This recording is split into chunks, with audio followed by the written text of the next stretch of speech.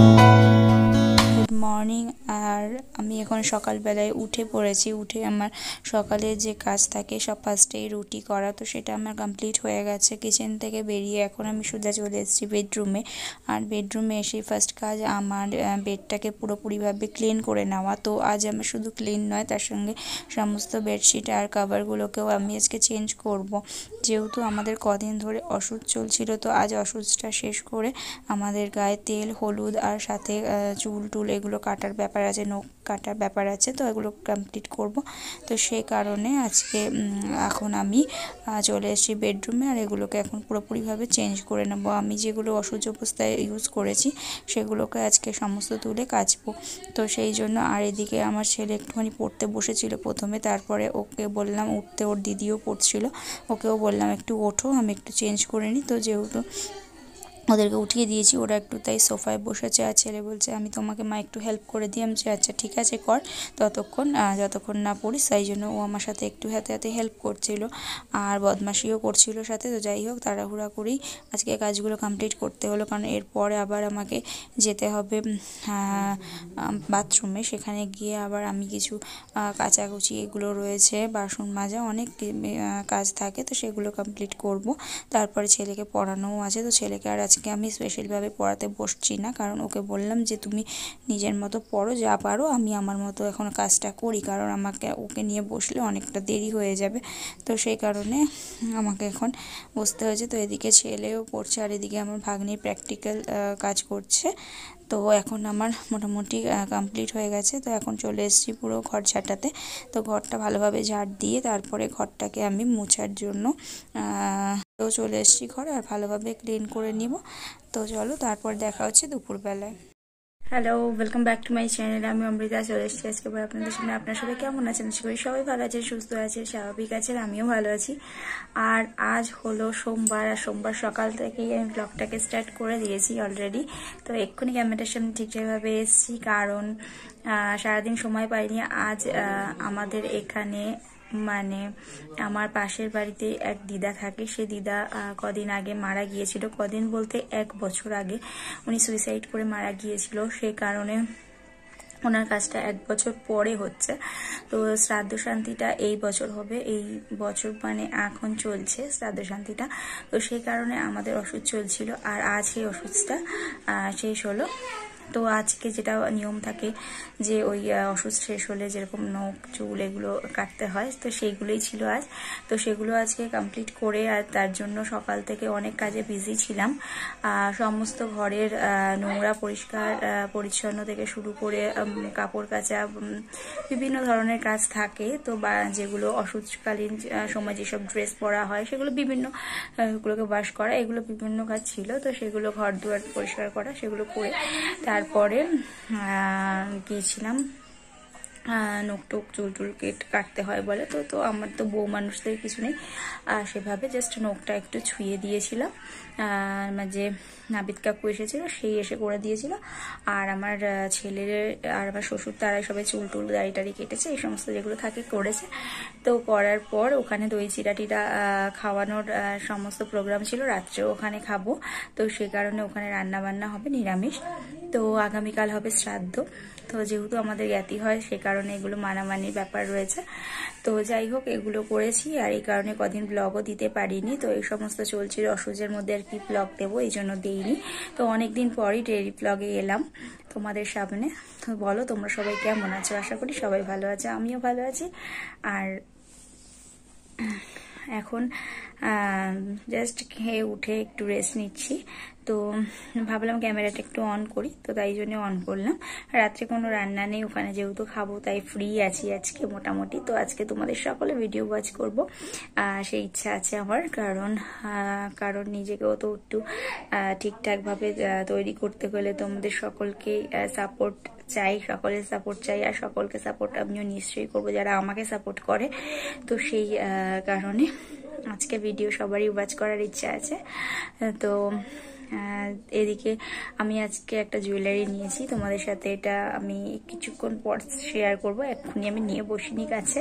তো সেটা আমি শেয়ার করব আজকে। আর কি বলতো ওই তোমাদেরকে যেটা বলার ছিল সেটা হচ্ছে যে আমার ব্লগগুলো তোমরা ঠিকঠাক ওয়াচ করো প্লিজ কারণ মিনিমাম তিন চার মিনিট অবশ্যই ওয়াচ করো, তারপর কমেন্ট করো। কারণ অনেকেই দেখছি আমি, তোমরা ঠিক মতো ওয়াচ করছ না, তারা এসে কমেন্ট করে বেরিয়ে যাচ্ছ ব্লগে কি আছে সেটা তোমরা না জেনেই হুটহাট কমেন্ট করছ, এরকম প্লিজ করো না। এটা তোমাদের কাছে আমার রিকোয়েস্ট আর আমার সাথে থাকো, দেখতে থাকো, আমার দেখো, এই পাশে ছেলে ঘুম থেকে আমি উঠে পড়েছি, আর ছেলে তার একটু আগেই উঠে পড়েছে। আর এদিকে দেখো, ও এখন মোবাইল দেখছে, আর এখানে আজকেই যেই চাদরটা পেতেছিলাম, সেই চাদরটা দেখো যেহেতু সাদা, আর এখানে দেখো পুরো হলুদ হলুদ হয়ে গেছে। ওই যে গায়ে যে আজকে যে হলুদ আর তেল টেল মাখতে হয় সেইগুলো যে করেছিলাম না, ওই জন্য ওই গায়ে ওর গায়ের যে হলুদটাই, ওটাই গায়ের মধ্যে মানে স্নানের পরেও না একটা দেখবে হলুদ মাখলে না একটা গায়ে হলুদের একটা ভাব থেকে যায়। সেটাই কিন্তু উঠে দেখো এরকম হয়েছে, জানি না বাবা কীভাবে উঠবে, এটা আবার একটা আমার টেনশন যাই হোক জামা কাপড় ছাদ থেকে নিয়েও চলে এসছি, এখন এগুলোকে একটুখানি গুছিয়ে নেব। আর তার আগে চলো, একবার চলে যাই একটু কিচেনে তো আমি এখন কিচেনে চলে এসেছি। আর কিচেনে এসেই দেখো, আমি গিয়েছিলাম যখন ছাদে, সেই সময় আমি এই দেখো এখানে চা বসিয়ে দিয়ে গেছিলাম। তো চাটা প্রায় ফুটেও এসেছে। তো এক্ষুনি নামাবো আর আমি আমার ছেলে খাব। সেরকম কেউ নেই খাবার যেহেতু। তো আমি আর আমার ছেলে এখন চাটা খাব। আর বাচ্চা হিসাবে তোমরা বলো না কেন চা দিচ্ছি। কারণ এখন ওয়েদারটা যেহেতু ঠান্ডা ঠান্ডা ওয়েদার চেঞ্জ হচ্ছে। আর এই সময় বাচ্চাদের মাঝে মধ্যে অল্প বিস্তর একটু চা দিলে কিন্তু ভালোই। খুব একটা ক্ষতি হবে না। তবে মাঝে মধ্যে একবার যদি দেওয়া যায়, তো ওটাও কিন্তু অনেকটা ভালো। তো আমার ছেলে যদিও লিকার চেয়ে ভালোবাসা দিচ্ছে, একদম ভালোবাসে না, তবুও আমি ভাবলাম যে এখন যখন আর লিকার করছি না, দুধ করছি, তো দুধ চাই করে দিই। তো ওই জন্য খাবে, আর তারপরে দেখি কিছু ম্যাগি ট্যাগি করে দেবো। তো চলো ততক্ষণ থাকো সামনে, আর আমি একটু আমার কিচেনে টুকটাক কাজ গুছিয়ে নিই কারণ যেহেতু আজ তো কোনো রান্না নেই, তো আমি এখন পুরোপুরি ফ্রি তো চলো থাকো।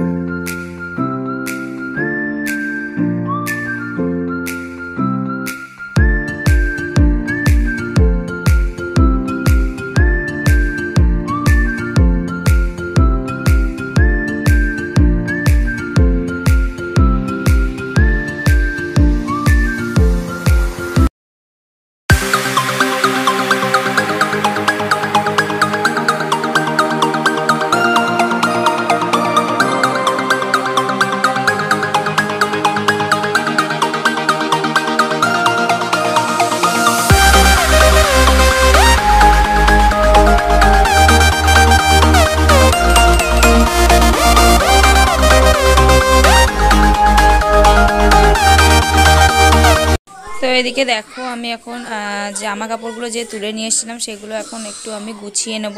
কারণ ততক্ষণ চাটাও একটু ঠান্ডা হোক, তো ততক্ষণ আমি একটু জামা কাপড়টা গুছিয়ে নিই। তো চলো থাকো সাথে, দেখতে থাকো।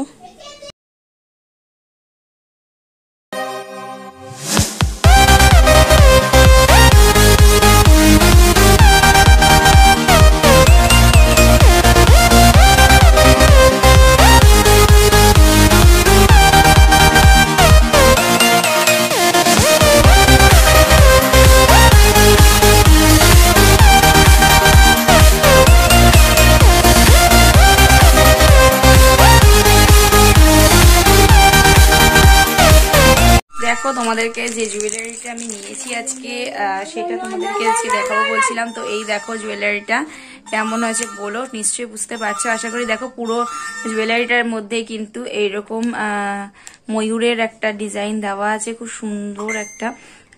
আমার খুব পছন্দ হয়েছিল জুয়েলারিটা এখানে একটা দেখো রিংও আছে তার সাথে। এখানে দুটো ইয়াররিং আর এখানে একটা এই যে ফিঙ্গার রিং আছে। এখানে এই যে দেখো এখানে রয়েছে একটা ফিঙ্গার রিং আর এখানে দুটো ইয়ার রিং আর সঙ্গে এই যে এই যে হারটা আমার খুব পছন্দ হয়েছে।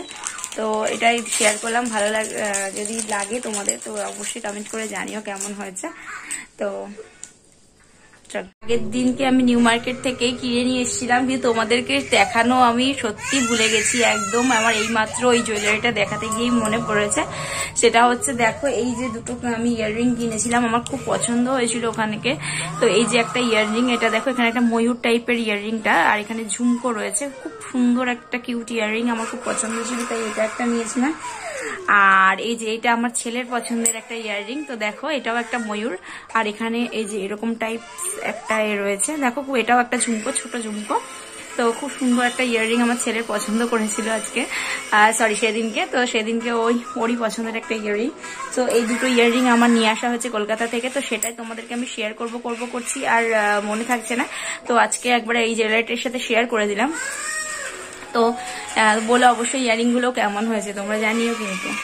তো রাতে আমরা এখন বাইরে চলে এসেছি খেতে ওদের বাড়িতে, তো চলো এরপরে আজকের ব্লগটা এইটুকুই, আবার আসছি নেক্সট দিন নতুন